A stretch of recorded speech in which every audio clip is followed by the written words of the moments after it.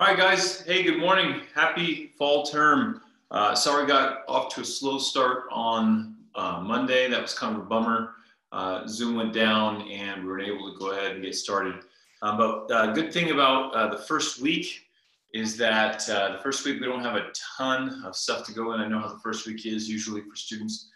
Really, really busy with things, getting everything sorted out. So it's a situation where uh, you know, we start off kind of slow. We do pick up quick. So if you're in a situation where you don't have your books, you don't have your your funds, we can talk about that as we go through. We'll go through the syllabus and uh, and uh, get that dialed in. So hopefully everybody's doing okay. Everyone's uh, maintaining their coronavirus social distance and out of the smoke. And I know there's a lot of things going on, but I am happy that you guys are here. I'm happy that you guys are are engaged and you guys are online.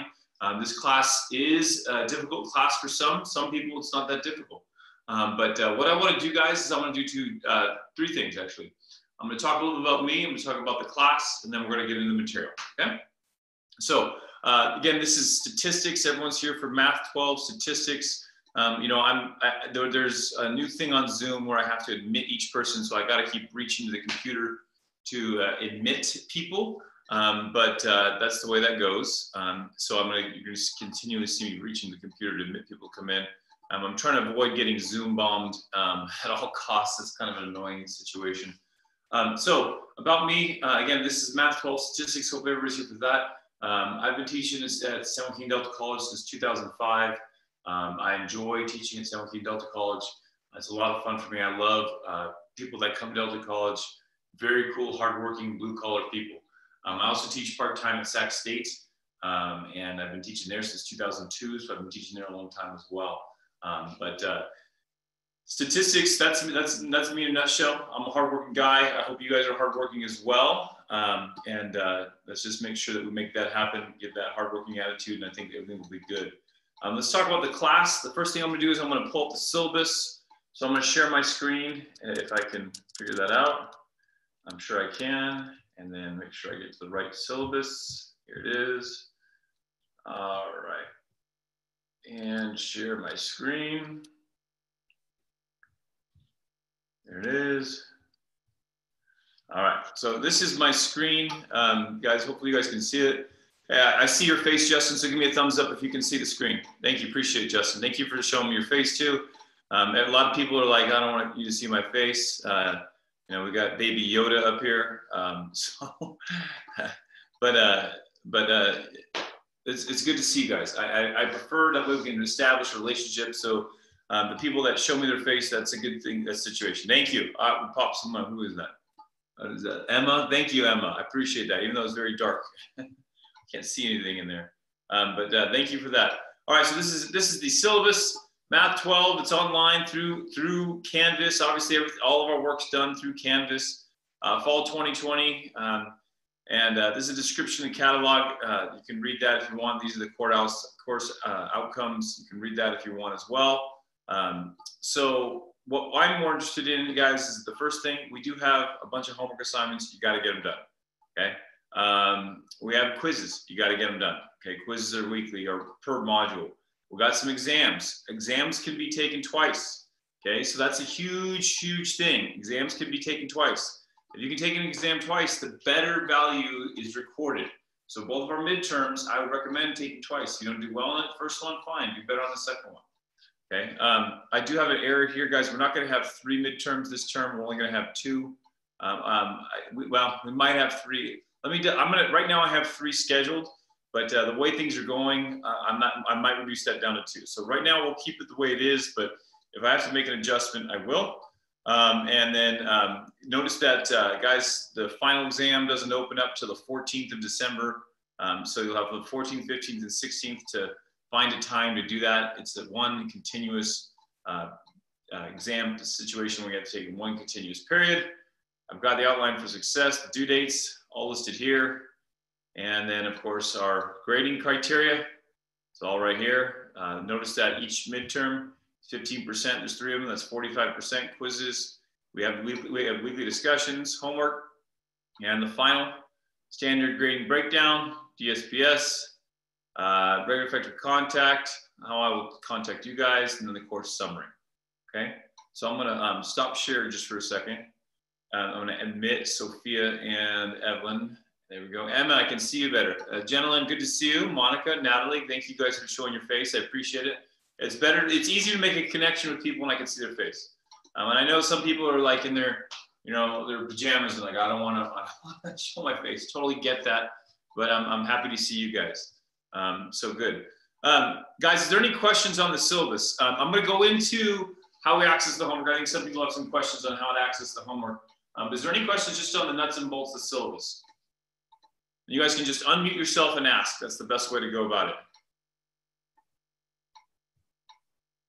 Okay, so no one has a question on the syllabus. Ah, good. I'm very clear today. okay, um, so I want to go back to sharing my screen. I want to make sure everyone's dialed in on how to access the course content. Okay, so um, share screen, go back here. Accessing the course content, guys. Um, so when you log into Canvas, everyone should be able to log into Canvas.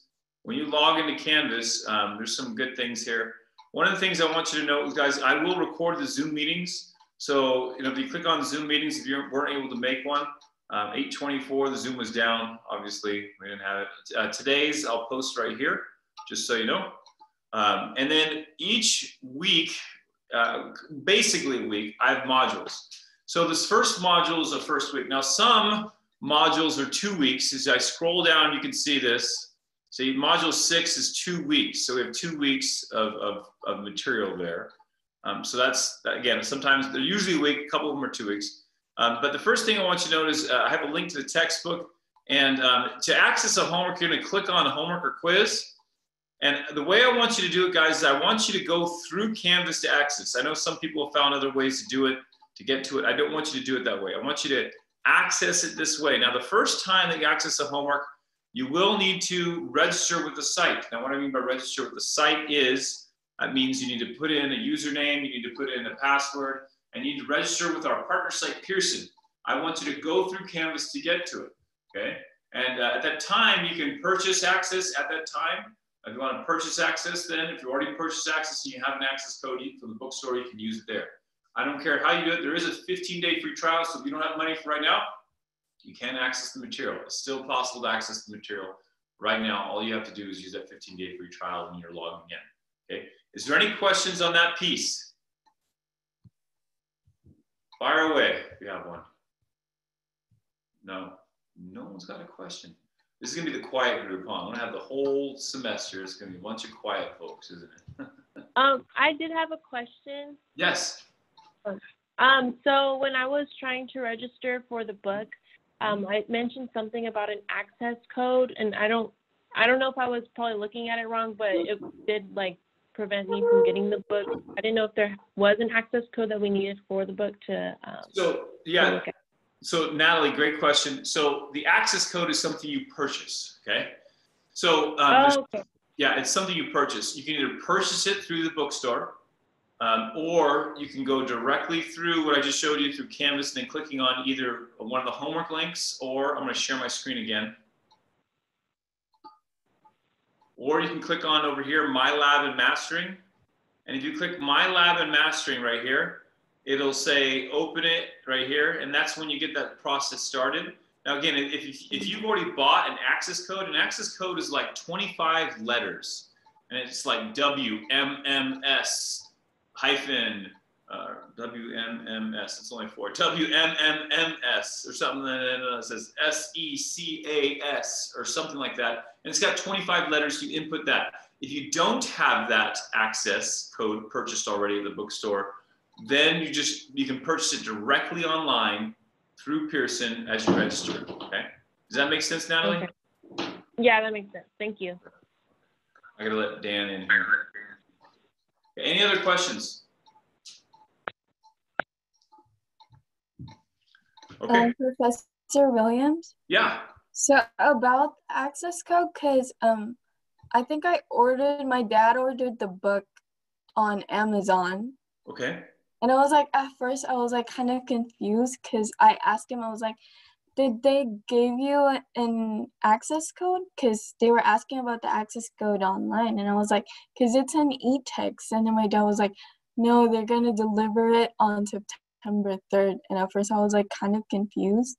I was like, yeah, totally get it. So gentlemen, what they're delivering you, they're gonna deliver you a piece of cardboard and on that, it's gonna have the access code on it.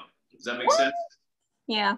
So that's what they're delivering. So for right now, um, Mhm. just register with the site. Go again, go to Canvas, click on My Lab and Mastering, and then there's as you as it says, do you have an account? If you don't have an account, then you type in a username and password you create and your email. And then it says there's a small little print. It says 15 day free trial. Just click Mhm. that and allow you to access it. Okay. I did what you made me do and it worked. Oh, okay. Perfect. perfect, So perfect. thank you for that. Okay, cool. Good. Any other questions? No other questions on that. Okay. Good. Um, I'm glad.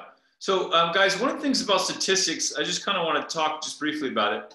One of the things about statistics is that uh, it's very, very practical. There's a lot of things that we talk in here that have practicality. Um, you know, we got an election year this year, which is great for statistics because as we move along, we'll start talking about um, different processes, including you know sampling, including um, finding um, proportions and using sample data to extend about populations to talk about how there's sometimes unintentional bias. And so it's a great year to be an election year um, for statistics. And guys, and with some of the stuff we do, we do a lot of probability stuff. Probabilities in everything we do. So that we take, we spend a lot of time on probability. So this is, to be honest with you, probably one of the most practical, high level practical math courses you'll ever use. Obviously the most practical math course you ever took was probably in like third grade when you learned how to add two numbers, right? That's probably the most practical.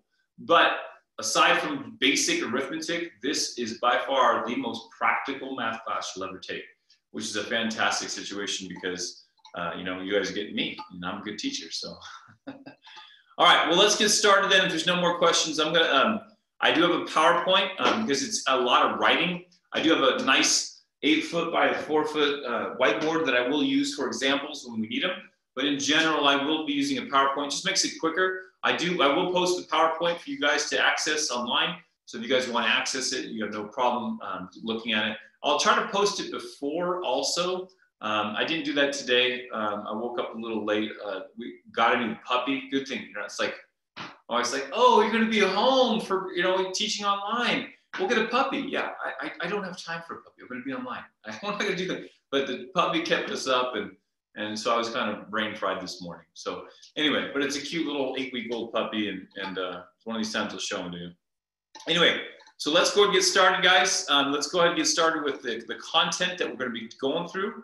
And guys, I will have to toggle back to this screen uh, occasionally because it's tough for me to share my screen, but also admit someone who's late um, in terms of uh, uh, getting online. All right, here we go. So let's do this. I'm to share my uh, slideshow from current slide. All right. So again, you don't have to write this stuff down. I'm going to post this today, later on today at some point, so you guys have access to it. But what is statistics? Statistics is the science of collecting, organizing, summarizing, and analyzing information to draw conclusions or answer questions. In addition, statistics is also about providing a measure of confidence in any conclusion. I'm going to give you the idea of statistics. Okay, there's two types of statistics. There's one, which is descriptive statistics. Okay, descriptive statistics means that I'm just describing things. Like when someone says, "Hey, what's that baseball player stats?" or "What's that basketball player stats?" Well, that basketball player averages 10 points per game and three rebounds and one block shot. Okay, that's his statistics. That's what a lot of people think of when they. That's definitely a piece of statistics. That's descriptive statistics because I'm describing something. I'm describing something. I'm describing this guy. There's another piece of statistics, which we'll talk about a little bit later, later about the first one third of the class is descriptive statistics. And then the last two thirds is what we call inferential statistics. Inferential, meaning I'm inferring something. What am I inferring? So inferential statistics means this. I take some descriptive statistics about some sample and I extend and talk about what's happening with the population. Now, I, I, didn't go into that real in deep because I'm, I haven't talked about what a sample is and I haven't talked about what population is, but I will today. So we'll talk a little bit more about inferential statistics, but what I want you to take away from it is there's two types of statistics. Descriptive, like the back of a baseball card, right? All the statistics, the stats, if you will. And then inferential statistics. Inferentials, we're making inferences, okay?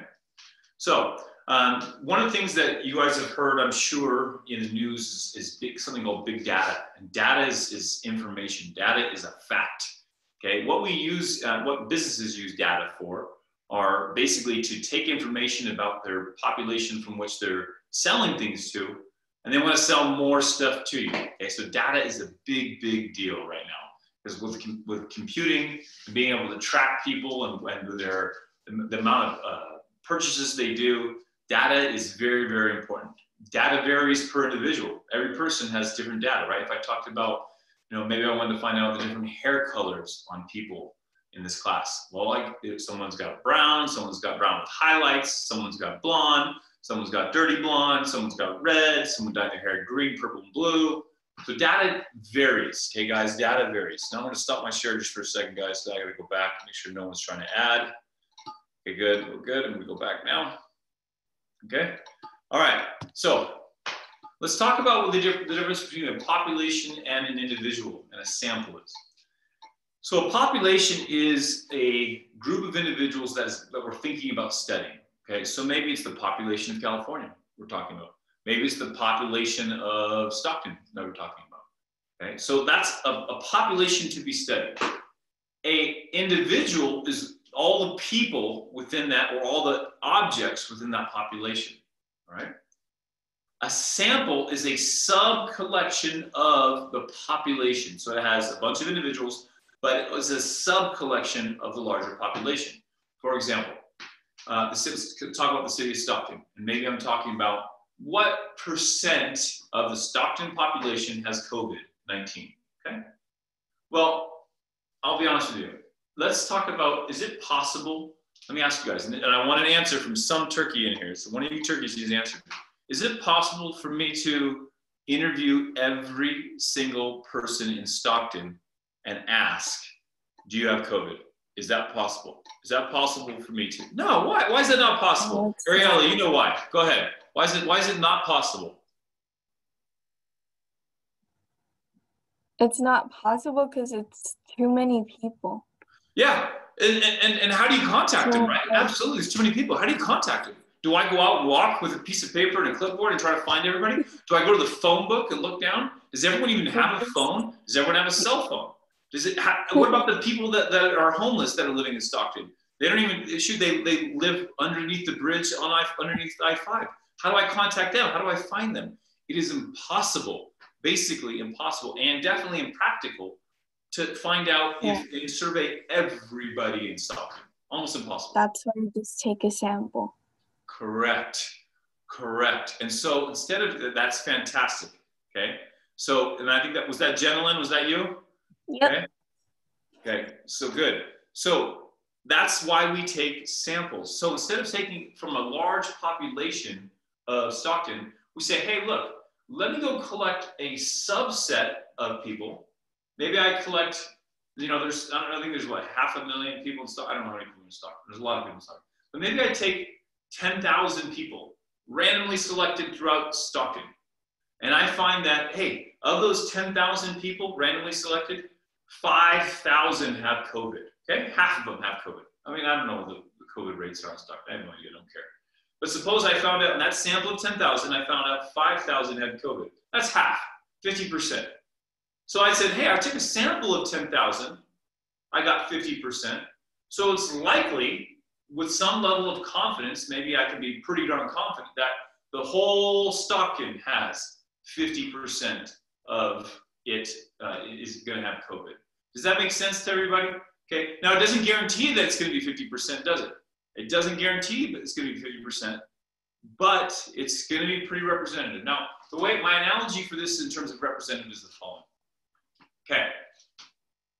Is it possible? Now let's talk about this. When, when you go get blood drawn, everyone gets everyone's had blood drawn for some reason, whether you're getting tested for a disease or, or you're getting donating blood or whatever.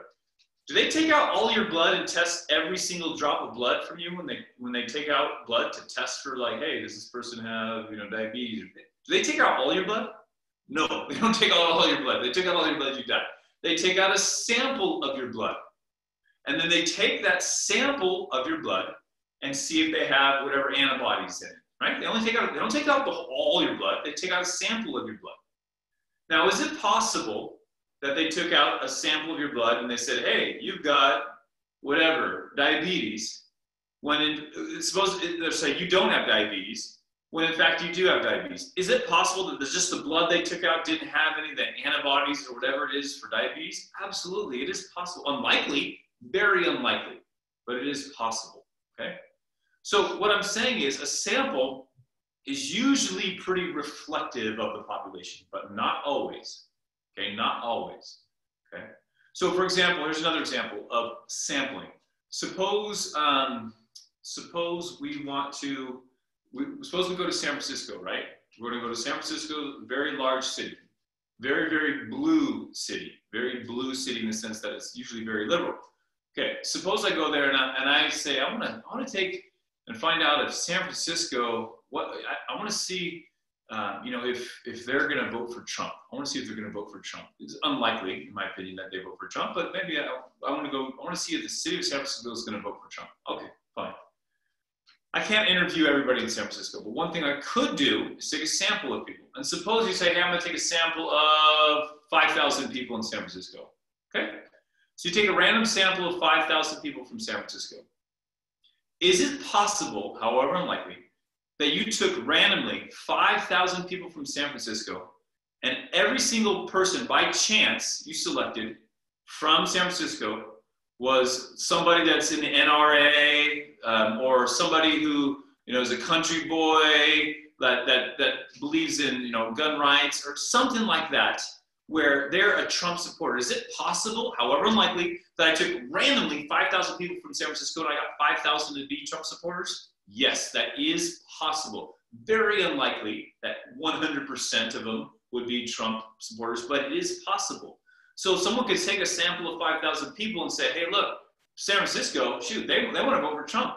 All of them, all 5,000 say, hey, we're voting for Trump. So yeah, that means probably San Francisco is going to vote for Trump. But it is possible you took a biased sample unintentionally. Okay? So I just kind of want to get the idea of, of the how sampling works in terms of what a sample is, and usually the characteristics of a sample reflect the characteristics of a population. Not always, but usually. And you could see that in some of our past polling in terms of, you know, look four years ago. Four years ago, the poll said, oh, shoot, in these states, uh, uh, Clinton's going to win. Clinton's going to win. And did she win? No, because the polls might have taken weird sampling uh, processes that may have gotten a biased sample. Okay. Good. All right, I'm going to go back to sharing my screen. Okay. All right, so I talked about the difference between descriptive statistics and inferential statistics. Okay, so guys, I want you to look at this. A statistic is a numerical measure based on a sample. S, S. Statistic comes from, is a sample, okay? Statistic comes from a sample. It's a numerical summary of a sample. A parameter is the numerical summary of a population. P, P, S, S. A parameter is a numerical summary of a population, okay? So, parameter versus statistic. Suppose the percentage of all students on my campus, all students on my campus who have a job is 84.9%. That is a parameter, the 84.9%, it's a summary, it's a numerical summary. That's a parameter because it has to deal with the population. It's a summary of the population of all students on my campus, okay? But suppose I took a sample of 250 students from Delta College and I found that 86.3% have a job. That's a statistic because that numerical measure of 86.3% came from a sample. Okay? All right, good. So, um, guys, we have different types. We have different types of variables. And so I'm going to classify them right now. Okay, I'm going to talk about the classifications of the variables. So there's qualitative variables and then there's quantitative variables. Now, I have these definitions that look really hard. What's a qualitative variable? A quality someone has, right? Like Justin has brown hair, right? That's a quality he has, right? And you know, uh, and Monica looks like you have red. Is it red hair? a little, little red. No, it's, sorry, it's the lighting behind you. Okay, good. But anyway, sorry about that. So it's different qualities of people, right? Qualities of individuals. Maybe it's not hair. Maybe it's uh, maybe it's blood type. The quality of your blood type, right? O positive, A, B, AB. Okay, those are political party affiliations. Those are different types of qualities. You can't add Republican plus Democrat and get independent. You can't do arithmetic on qualitative variables. Quantitative variables, you can do arithmetic. If he has, if we're talking about the number of cars people have, right? I have one car. They have two cars. Can we talk about how many cars we have together? Sure, we have three cars. So in terms of how many cars you have, that could be a quantitative variable. The number of eyeballs each person has, right? Most people have two, so it would be very, very uniform uh, distribution, but in general, that's a quantitative variable. So quality, qualitative variable. Quantitative variables are things that have quantity to them, okay? So let's talk about it. Nationality. Nationality is a qualitative variable, right? What nationality? The number of children you have. That is a quantitative variable. Household income, quantitative variable. Level of education, whether you have high school or college, some college, college, that's a qualitative variable. And then daily intake of whole grains is a quantitative quantity, right? How many whole grains did you have? You had 10 grams of whole grains. I had 30 grams of whole grains. Together we had 40, okay? That's a quantitative variable, okay? Within quantitative now, within quantitative, I have qualitative, but within quantitative, we have two subtypes. Discrete and continuous. Correct, discrete and continuous, okay? The two types that we have are discrete and continuous. Now, what is discrete and continuous? Well, discrete one is one that was countable, and a continuous one is one that's uncountable. Okay, and that's kind of a weird way to think about it. But I'm going to kind of show you on the board. All right, I'm going to kind of show you the board. I'm going to stop my share just for a second, see if anybody's waiting in the weight room. No one's waiting in the weight room. Fantastic. Okay, so let me ask you guys if if if uh, I talked about the number of siblings each person has in this class, right? Someone has three. So, oh, good lord, pen is fired. Pen is fired. Oh, that was it. Someone has three, someone has two, someone has five, someone has zero, another person has zero. This is definitely a variable that changes, okay? Mm-hmm. But as we go through, this variable changes as we go through is this a finite or countable number? In other words, can you count the number of siblings someone has? Can you count? Yes, absolutely, you can count the number of siblings someone has. It's very easy, right? These are all countable numbers. And you can take these numbers, these are all finite or countable numbers. Someone could have, I had one student a couple years ago, she had 17 siblings. Oh, and they're all, no, no half, no, not like half this, half that. They're all full siblings. It's crazy. That's an example of a discrete variable. But then if I talk about something that could be on a continuum, on a number line, something like this, this is the number line, right? Like for example, the number of uh, grams of fiber that you ate today. Maybe you didn't, you know, I know the package says has three grams of fiber. Does it really have three grams of fiber? Or maybe it has 3.00013 grams of fiber or maybe it has 3.00145 or 3.001579265. So that's a number that can be on the number line, and there's an infinite number of numbers on the number line, and it's uncountable. There's so many. So things that can have these large decimal representations that go forever, okay, those are the ones that are what we call continuous. Okay, so think of it like, like height, right? I say I'm 6'2, am I exactly 6 feet 2? I'm not exactly 6 feet 2, I'm 6 feet 2 plus da da da da da da da, da right? And someone says, oh, I'm five nine. No, you're not five nine exactly. You're five eight point da, da, da, da, da, da, da, da. So height is a continuous variable, okay? Now, if I said, how many follicles are on the top of your head? You could count those. Is it a large number? Yes. But could you count them physically? Absolutely, okay? Could you count all the different heights that you could have in the world? Someone could be 5'9", someone could be 5'9.01, someone could be 5.01. You can't count all those, there's too many. Okay, so the difference between continuous and discrete is one is countable, that's discrete, and continuous is uncountable. Okay? Good. So let's talk about the number of children that you have. That's a discrete variable. Okay? Household income, discrete variable. You made 100,015 cents, or you made 100,016 cents. You can count those. But daily intake of whole grains, measuring grams per day, is a um, continuous variable. So we have discrete, discrete, continuous. Okay? Good. Now, we talked about how uh, variables uh, can be one of two classifications, qualitative or quantitative. But in addition, data can be qualitative or quantitative. Okay, so that's just another way of us saying if we have variables, variables give us data, that data can be separated into either qualitative or quantitative. And once it's quantitative, it can be discrete, it's countable, or continuous, uncountable. Okay. All right, now I want to talk about some different processes. I want to talk about um, random sampling. Okay, guys, I'm going to stop share just for a second. And I kind of alluded to it a little bit ago, the idea of random sampling. Random sampling is, is basically us doing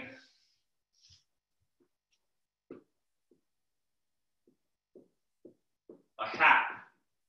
And you have equally weighted sized billiard balls inside of the hat. And you shake that hat up and you grab one. That's random sampling. Okay, random. There's no bias to it. There's no bias to it. You just shake it up and grab it. Okay, that's very, very important for us to understand. Okay, that's an example of random sampling. Everything has an equally likely chance of winning. Okay, although I will say, if it's not equally sized, if these aren't equally sized, it's not random anymore. And I'm gonna give you guys a tip. Okay, I'm gonna give you a tip because I'm a nice guy, and I'm gonna give you guys a tip. Anybody, anybody been to one of those crab feeds before, where you're like supporting like a softball team or something like that? Anybody been to one of those? So Justin, you've been to one? Okay, good. Anybody else? Emma, you been to one? Yeah, okay. So those crab feeds for softball, my niece is a softball player. Um, and uh, so we went to a crab feed for her because they were trying to support, and they get these donations, and you, you, you they, they line all these donations on a table, this really long table, and uh, then they have these hats in front of them, these baskets in front of them. You buy tickets. You buy like 20 tickets for 20 bucks and you put in tickets in each one, they draw one and you win the prize, right? That's, that's kind of the way it works. And I, I love crab feeds, I love crab. And I also like, because I like to support my niece or whatever, and then I, I like the opportunity to win things. Well, the, one thing I want to tell you about is they weren't taking a random sample of one ticket from those uh, hats. And the reason is because everybody else threw their ticket in there, right? Everybody else threw their ticket in there. Okay? Well, I didn't throw my ticket in there. What I did is I crumpled my ticket, then I slightly unflattened it, and then I put it back in, which means it has more surface area to grab. And I'll tell you right now, there was 20 prizes, I won three of them. I won three of them, okay? Because I skewed the odds in my favor, right? I crumpled my ticket and then I put it back in. Okay, I skewed the odds in my favor. That's not randomness in terms of it picking one. That wasn't a random sample of one because this had a higher likelihood of being picked. Okay, so that's that's my my my advice to you guys in your next crowd feed. Right, so you guys can win. so anyway, that's an example of uh, random sampling is when everything has an equally likely chance of happening. Okay. All right, let's go back here. Now, uh, I'm going to skip that because we're running low on time. Um, I want to talk about a stratified sample. So uh, one, one downfall of random sampling is that it's possible, like my San Francisco example, it's possible in San Francisco, I, I want to take a sample of 5,000 people, it's possible you get all people of one type. In other words, it's possible I got all Republicans randomly. That is possible. But suppose you want to avoid that case where you get something all from one type of population. Well, then you can use something called stratified sampling. Okay, it's obtained by separating the population into homogeneous, non-overlapping strata. That's so confusing. Uh, strata. What is a stratified sample? The best way I have to give an example of it is right here. Suppose we have 49 Republicans, 49 Democrats, and two independent, two independents in the United States Senate. I don't want to take a random sample of nine people, because if I take a random sample of nine people, is it possible that I got all nine Republicans? Yes. Is it possible that if I took a random sample of nine from those uh, 100 people, I took, I got nine Democrats? Yes. I don't want to get all of one type, so I'm going to avoid that. So instead of doing that, I'm going to take a random sample of four from the Republicans, randomly take four Republicans, randomly take four Democrats, and randomly take one independent. That means I guarantee, I guarantee characteristics from all the different strata, don't I? Okay, that's important, right? I want to get information and I want to make sure that I don't get all Democrats. If I took all Democrats and they're like, hey, we need more social welfare programs or whatever, well, that, that might not be representative of what everything happens okay, in terms of the whole population. So if you want to get characteristics of the whole population, sometimes it is important to take a stratified sample. So you get information based on all the different strata. Okay? Good. Does that make sense, guys? Like, and see how the value of it? Good. Thank you, guys. I appreciate, especially you guys who have faces out there, man. Thank you. all right. So a systematic sample is a little bit different than a strata. Did I skip one? Uh, no, I didn't. Okay, a systematic sample is, is, is the easy way to do things, okay? Imagine if you had a phone book, okay? And you want it, and it's got in, in Stockton, it's got you know 400,000 or whatever the population of Stockton is now. I don't even know anymore. Okay, it's got a bunch of people in the Stockton area. Is it possible to say, hey, I want I got 400,000 and I want a sample of 10,000 people, do 400,000 divided by 10,000, and I'm going to get uh, you know every 400th person I'm going to take. So I'm going to take the first person, and then the 401st person, and the 801st person, Uh, and 1200 first person in order. Does that make sense, guys? So I'm just taking, I'm going to take so many people, I'm just take every 50th person in the list. That's a systematic sample, okay? And it's easy to do when you have things in a line or a row or in a list. Now, it doesn't, it doesn't guarantee you a, a unbiased sample. It's possible you get a biased sample, right? And maybe every 401st person has a certain characteristic, but it is easy to do. And that happens a lot in sampling techniques, think of, and an example of uh, you know, one of those conveyor belts. If you have these conveyor belts, um, they, they, they, usually do every, you know, 15th one, they sample to make sure it's quality control. Okay, so that happens a lot. Systematic sampling happens a lot. Okay? The last method, I'm going to skip on how to obtain it. Uh, the last method that I want to talk about is the idea of what a cluster sample is. So a cluster sample is very, very uh, valuable very, very valuable. The way I, I like the, to, um, to do a cluster sample is this. Suppose, suppose um, I have this school administrator example. I, I want to find out what, maybe, maybe our school at Delta wants to find out how students feel about online learning. Like, hey, I want to feel about. Now, one thing they don't want to do is they don't want to go and, and, and try to zoom, they don't want to zoom bomb, you know, 55 different people at 55 different whatever, uh, or maybe 500. They don't want to do 500 different people randomly and have to Zoom bomb in class and say, hey, what do you think about online instruction, stuff like that. They don't want to do that. It takes too much time. So instead of doing, you know, 500 people randomly, what they do is maybe they took a bunch of classes. Maybe they said, hey, look, maybe I'll just take 10 randomly selected classes that are meeting, right? There's more than 10 classes on campus. But if you took 10 classes, each with 50 students, then you'd have your 500 people, right? So that's exactly, that's an example of cluster sampling. Another example of cluster sampling might be this, okay? Uh, I live in the Sacramento area, okay? Well, actually, I live past Sacramento. It's a long drive to, to Delta on a daily basis, but it's worth it. I prefer in-person instruction. But anyway, in Sacramento, I don't know if you guys are familiar with it, Sacramento is a grid system. They got A, B, A, A Street, B Street, C Street, D Street, you know, so forth first, second, third, fourth, fifth. It's a grid. If someone wanted to survey um, people and they wanted to find out, uh, you know, what is what is what does Sacramento feel about, uh, you know, the governor moving out of the governor's mansion? And they want to find out about that. They're like, hey, the governor's normally lived in the governor's mansion in Sacramento. Now he's he's moving away. How do you feel about that? Well, one thing they could do is they could take a random sample of 5,000 people and walk to 5,000 different locations in all of Sacramento and, and that grid system. That'd be a lot of work. Or what they could do is they could break down Sacramento into blocks, right? This first and first and A Street block, second and second in A Street, third day, fourth in A, you know what I mean? And so they're all blocks. They could take a, a sub collection of some of the blocks. Maybe they take five blocks in all of Sacramento and just randomly five blocks and interview everybody in that block. Okay, that's an example of cluster sampling. Okay. Okay, and then the last one, oh, before I get to the last one, I want to I want to point this out. Okay, um, so uh, simple random sampling, randomly taking each piece of people. Okay, cluster uh, stratified sampling stratifying these individuals in some type of strata, this type, some type of homogeneous characteristic. This time I put men and women. And then once you've stratified them, put them into this kind of characteristics, we take a sample of each one. Systematic is every third person, fourth person, whatever it is in a row. And then cluster sampling is break things up into clusters and then take all individuals within randomly selected clusters. Okay? And the last one is convenience sample. Okay, convenience sampling is not a good technique to use. Um, you know, my wife, uh, she gets that magazine, Us Weekly. I don't know if you guys have ever seen that. It's an awful magazine. It's basically all pictures.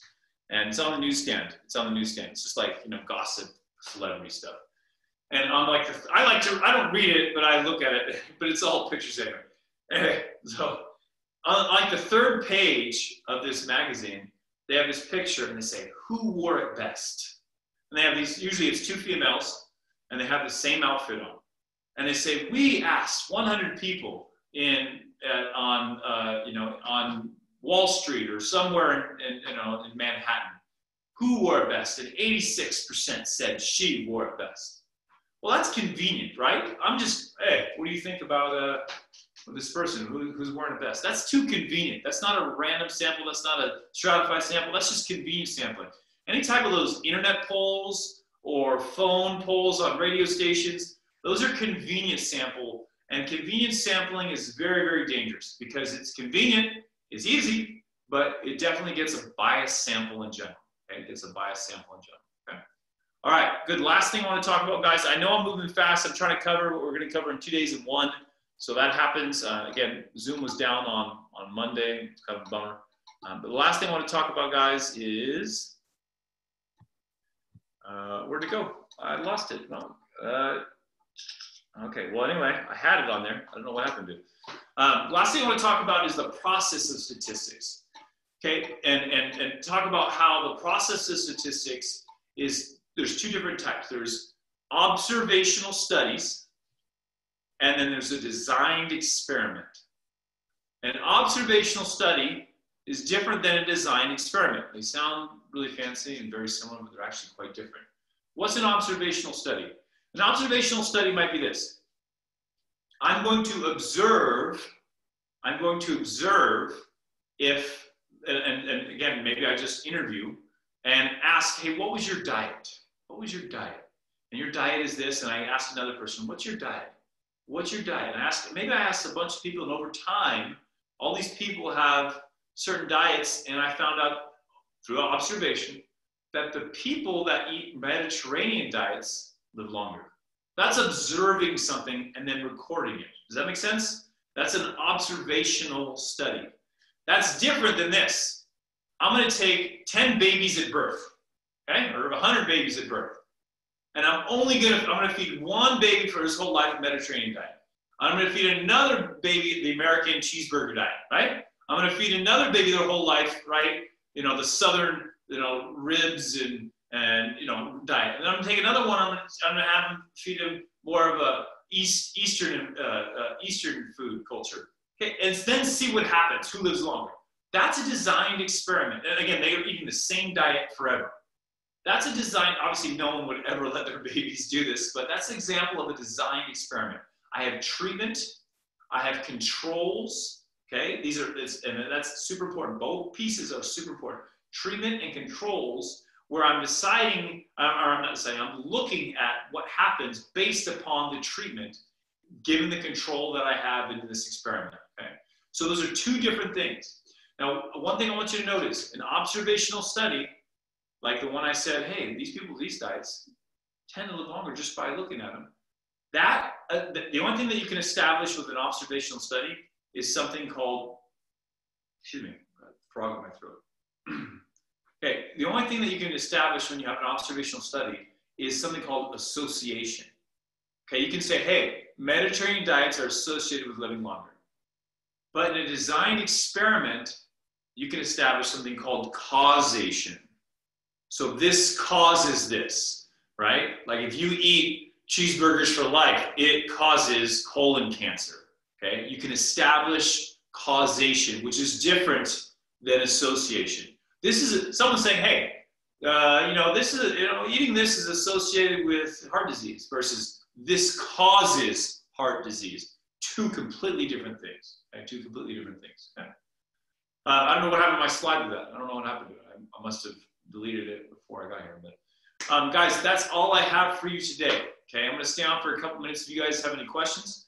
Um, but uh, other than that, I will see you guys on Monday. We do have a homework due, one homework, one quiz, and a discussion.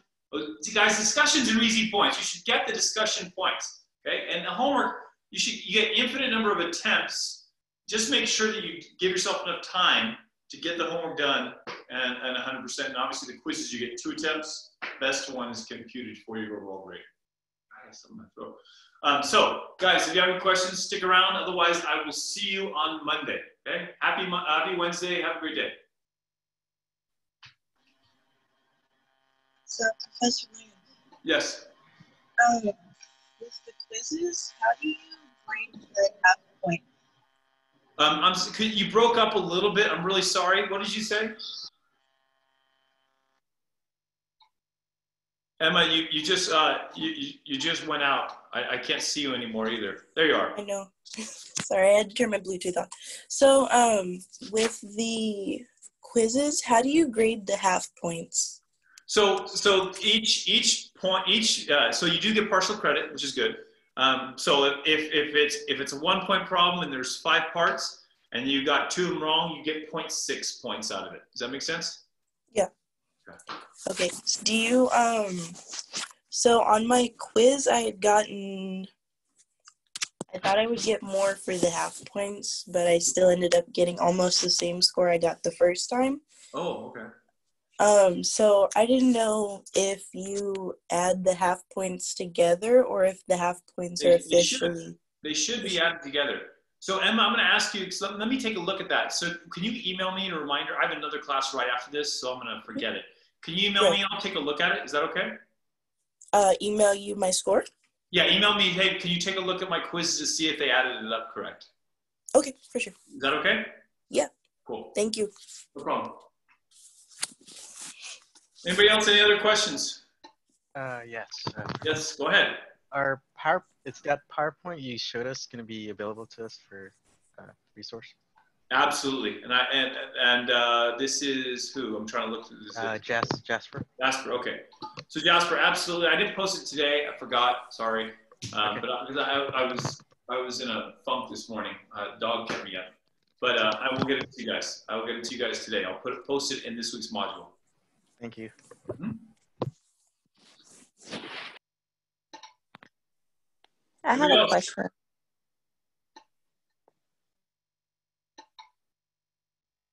Okay. Well, uh, thanks, guys. I appreciate it. I will see you guys on Monday. Um, Professor Williams. Oh yes. Yeah. I have a question. I was just wondering what the difference um, of a high school statistics and probability is between this class. So that's a great question. That's a fantastic question. So, um, uh, gentlemen, I, my, my son is in high school, okay? And he took over the summer, he took uh, Delta College's statistics class. and it is different in some ways, but not in general. The, the content that you do in a college level is a little bit different because in high school they might go a little slower, they might not go as more in depth. Um, you know, it just depends on your instructor. You know, it, in college we're quite uniform, quite uniform since we usually teach the same content. Um, so, good thing about taking this on uh, on Delta. Are, are you a high school student? No, um, I'm a freshman in college, but the thing is, when I was in junior year in the Philippines, I took statistics and probability. Okay. So yeah, so it, it, there's going to be a lot of. It depends on who your instructor was and how well they went in depth, but there's going to be a lot of overlap. A lot of overlap.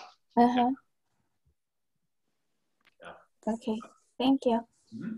I have a question. Sure. Um, it's just about uh, the scientific calculators. Do you know, like, if the math building or what going to be able to give us um, free um, calculators? So they have in the past. This is an unusual. Obviously, you know this is unusual. There's basically no one on campus, um, and I, I would love to tell you that that there's a method. I can I can reach out and, and talk to my dean to see if there, there's any method they can do to get you one but I, I think it's going to be unlikely, to be honest with you, uh, Okay. which is super unfortunate. I will say this though, um, you know, you have online resources. You could type in um, online, just type in online calculator, and a lot of the, you type that, and probably the first ten links you get will all be sufficient to be able to do some of the things that you need to do. Um, the key thing is um, is when we want to be able to do things efficiently. So after we learn like certain things like standard deviation and linear regression, after we figure out how to do it, we want to be able to do it quick rather than the long way. And being able to do it quick involves technology. And so you're going to want to be able to have some access to technology at some point. Um, I, I, will look into and see if I can find out my dean's going to have any um, resources, but I don't think so, to be honest with you. We normally do. It's just no, like our, our, our secretaries aren't even on campus. You know, the campus is basically shut down. 90 something percent of it's shut down. Um, and unfortunately, we don't, we don't have that right now. Okay, thank you. So I did have another question, Professor Williams. Um, so I'm not sure if anyone else was experiencing any um, difficulties with the statistics graph or um, being able to do the systematic sample without knowing what n was. Um, I know I had emailed you about it because I was having difficulty um, Oh, watching that video. yeah, Um, that's right. It wasn't playing at all for me. It was it stayed at zero the whole time and wasn't moving. So I didn't know if anyone else was experiencing that or if that was just me. I think it was just you because I went in. No one else has told me anything. I went in and it worked no problem for me. Um, let me see. Um, so one thing I can say, Emma. So what I did is I just pulled all those videos from Mhm. Pearson. If you go into Pearson, the MyLab and Mastering, um, and you, you can actually access all those videos per chapter um, directly through Pearson. In fact, I didn't even pull all of them. Like some of them have, some of the videos they have are tutorials on how to use like a TI-83 calculator, or if you want to use StatCrunch. They have all kinds of videos from there. Um, you're welcome to, to, to go into to Pearson uh, to directly and access those videos. It's, I just pulled them over to make it convenient. I said, hey, these are the ones that we need, make it convenient. And if it's, for some reason it's not working for you within Canvas, just go to go into My Math Lab and Mastering and uh, access it there. Right. So when I did I did try that. Okay. Um but when I tried logging into Pearson it said I had to register. and I had already registered. I already have a, an- a username and a password. And then for me to be able Okay. to register again, I guess I needed the professor ID. I, I don't want you to register again. no, it's, so let's do this, okay? Let's do this. Um, Emma, let's set up a Zoom session, um, and I'll, I'll kind of walk you through it, okay? Um, Okay. so let's let's set up a Zoom session. I have a class I have to teach in five minutes, um, so but so I can't do it right now. Um, but if you email me, let's set up a Zoom session where where um, you know you will be the host, so I can see your screen. Does that make sense? yeah.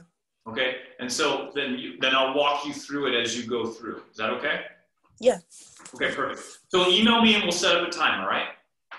Okay. Thank you. Cool. All right, I gotta head out, guys. I gotta get to my next class. Not that far away. It's in the same room, but I gotta get it dialed up. So, um, hope you guys have a great day, and uh, we'll see you soon. Okay? Thanks.